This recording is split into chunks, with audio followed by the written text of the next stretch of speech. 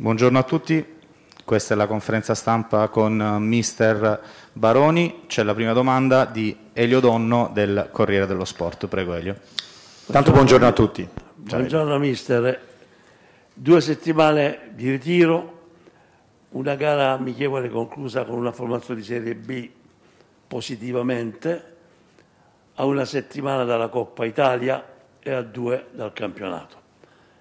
Eh, il direttore sportivo ha detto che c'è qualche piccolo ritocco da apportare, ma sul piano generale il tuo giudizio, ti ritieni soddisfatto, un bilancio, le prospettive, dove hai colto le cose più belle e dove c'è da migliorare qualcosa?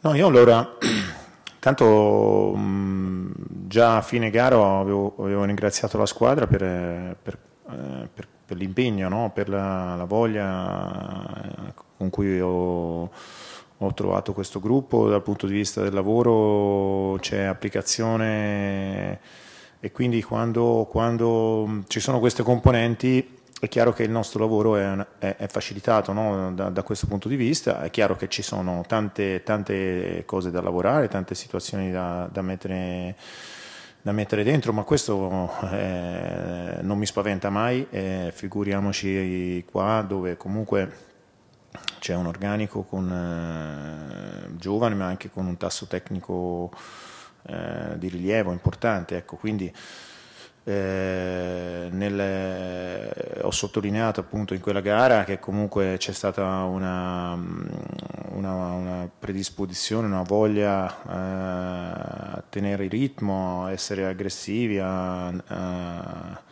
a cercare di fare le prime corse, spendere le prime corse in avanti no? più che indietro e questo la squadra a tratti ma lo ha ricercato e intanto in questo momento me mi, mi serve anche vedere questo, no? la ricerca proprio dall'aspetto mentale eh, delle cose che, che, io chiedo e delle cose che noi proviamo. Poi è chiaro che um, un, po' di tempo ci serve, ma non, io non sono, no, non sono, abituato, non mi piace gli alibi del tempo perché non dobbiamo aspettare il tempo, anzi gli dobbiamo, gli dobbiamo correre dietro e, e, e quindi eh, sono convinto che eh, queste due settimane, anche se sembrano poche, ma invece saranno utili per, eh, per, per mettere ancora del lavoro.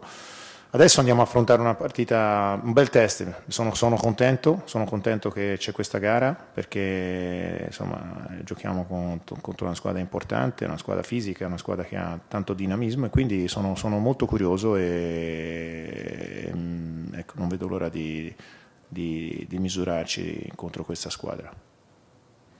Pasquale Marzotto della Gazzetta dello Sport.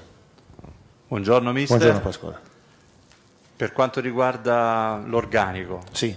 eh, Vera sì, rimane, no si, o si vedrà? No, ora mi dispiace che c'è è andata tanta attenzione, no? questo ragazzo deve stare sereno, sta lavorando molto bene, io non, eh, sono attento a cogliere tutti i piccoli particolari, mi ha, mi ha dato grande disponibilità in, in un ruolo che lui forse interpretava prima, quando, quando era nella sua nazione, poi piano piano l'ha un pochettino perso. E eh, ci sono, ci sono, gli ingredienti e quindi adesso lo, lo verifichiamo, lo, lo, sto facendo giocare in queste partite eh, proprio per, per, per, testarlo, nella stessa maniera non, non, non gli voglio mettere questa, cioè la, la, responsabilità di dover dimostrare a, a tutti i costi, mi, serve, mi servono dei segnali, me li sta dando e quindi vediamo se era un giocatore che era in uscita, vediamo adesso se magari mm, può, possiamo fare un, delle riflessioni positive su di lui. Io penso di sì. Al momento mm, nei ruoli mancano solo gli esterni offensivi di destra, il direttore ha detto che arriveranno. Quanto potranno incidere e quanto esalteranno la manovra offensiva? Eh, purtroppo sono, sono, no, purtroppo, sono giocatori determinanti, sono determinanti perché comunque quando, quando crei un modello di gioco dove richiedi l'ampiezza, dove vuoi lavorare sugli esterni, poi diventano giocatori eh, importanti. Eh, lo sappiamo, siamo attenti a quello che, quello che può avvenire sul mercato è chiaro che non è, non è un momento facile per nessuno, no? basta, insomma, basta vedere un attimino voi che scrivete lo, lo, lo verificate, quindi all'interno di queste, di queste, difficoltà, di queste problematiche cerchiamo di individuare eh, appunto i soggetti giusti che ci possono dare una mano importante eh, perché sono giocatori determinanti.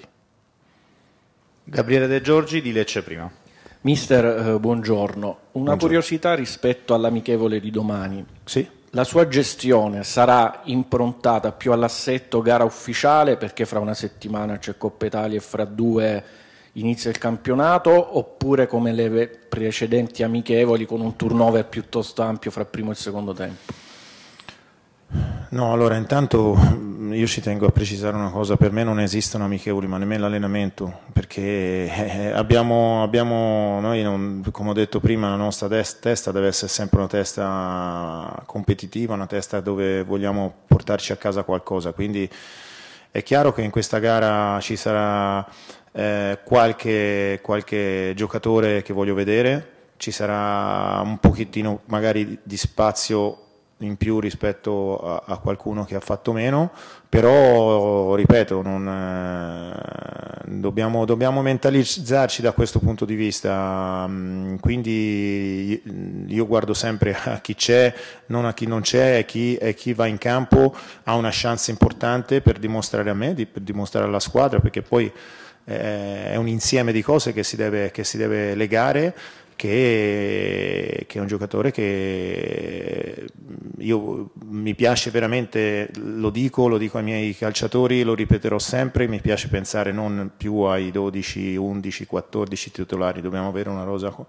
veramente di tutti i titolari, tutti pronti e questo per me è un dogma che continuo a, spendere nel gruppo perché è fondamentale. Pier Andrea Casto, Salento Live 24. Sì. Buongiorno mister. Uh, curiosità su due giocatori sì. che lei ha schierato in maniera diversa almeno rispetto, eh, e parlo di Julman, sì. che eh, eravamo abituati a vederlo più davanti alla difesa, con lei gioca qualche metro più avanti, una valutazione sì. su questo nuovo ruolo del ragazzo danese, e poi Elgason, che eh, ha detto anche il direttore Corvino, nasce come centrocampista offensivo, lei l'ha schierato più volte eh, invece sulle corsie esterne offensive.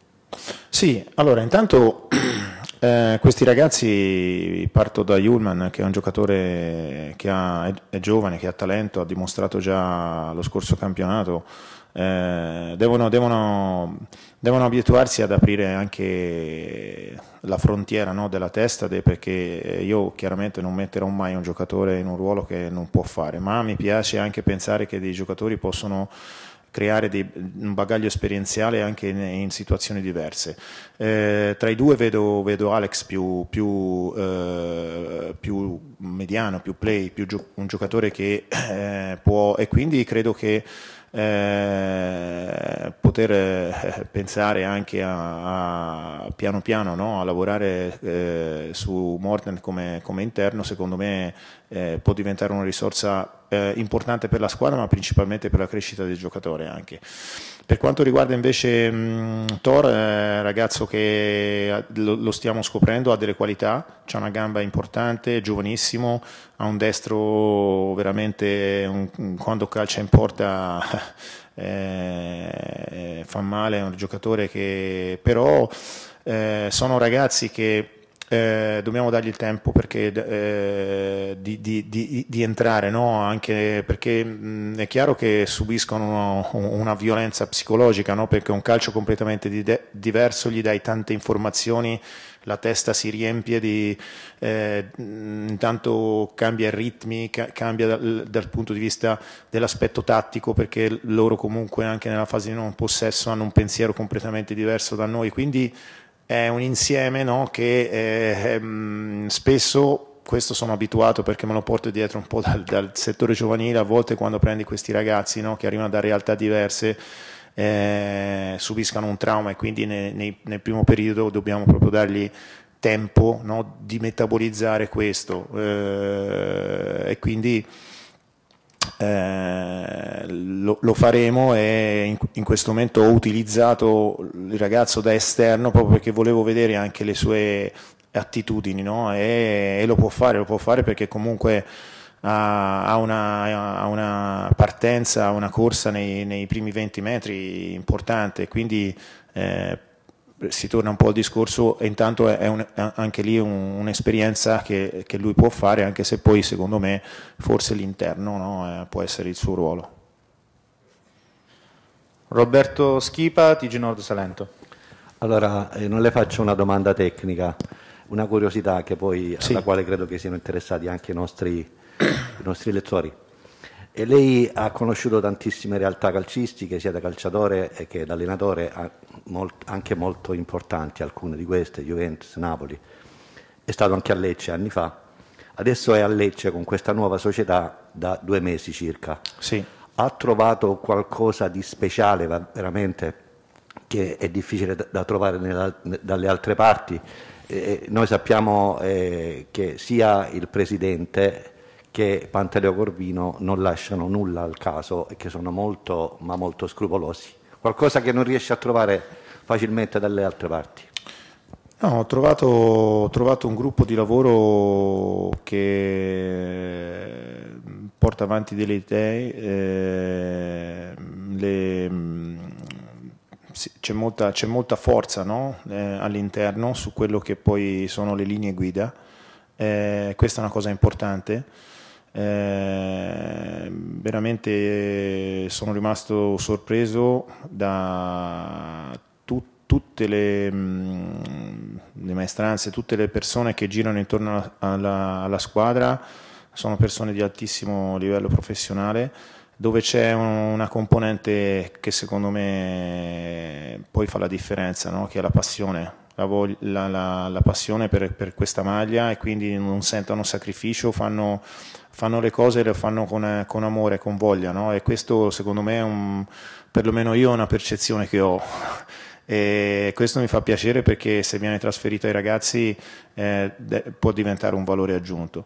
Nello stesso tempo, ecco, poi starà a me far, far ricordare a tutti i ragazzi e questo ci metterò tutto il mio impegno possibile che non dobbiamo mai dare per scontato niente, anzi quando si trova questi ambienti eh, dove ci fanno lavorare bene dov dovrò essere io a richiamare molto eh, la, la, appunto, eh, che certe cose non dobbiamo darle per scontate perché poi nella, nella, vita, come nella vita anche calcistica, specialmente calcistica, quando ti senti un pochettino così diciamo, usiamo la, la parola, ti adagi no? sul, sul, sul, bello, sul benessere, poi lasci qualcosa e questo non deve mai avvenire perché noi dobbiamo veramente ecco, avere questo spirito eh, proprio di appartenenza che secondo me poi ora e il calcio ogni anno, no? ogni momento, anche agli europei, vediamo queste situazioni qua. Poi alla fine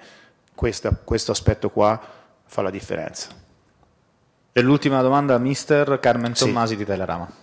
Mister, buongiorno. buongiorno. Io vorrei sapere quanto è soddisfatto finora del lavoro fatto sulla fase difensiva e se i più, i più, anziani, i giocatori più esperti la stanno aiutando a far integrare i nuovi arrivati.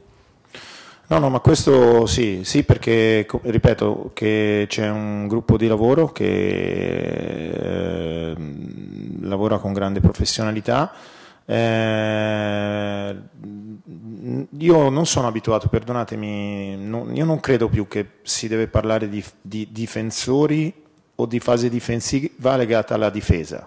Per me nella squadra è un insieme, è un insieme.